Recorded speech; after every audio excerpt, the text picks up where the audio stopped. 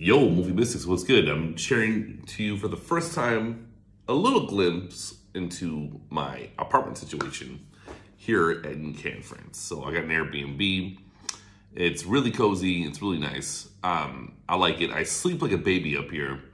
It's a few floors up, and I don't hear any of the sounds of the street, or you know, minimal at least, and during the night. And yeah, uh, the shower took a little figuring out.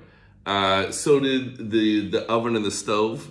It was a little different, but I'm making it work. Also, I have um, you know they, they have different power outlets here in uh, in France, all over the world, different power outlets, and I have this thing where uh, you you plug it into the you you pop, you you have the different outlets, then you plug it into an adapter that will allow the North American one, and it works for my cell phone for my iPhone, but it never works for my freaking laptop. That happened in Berlin as well.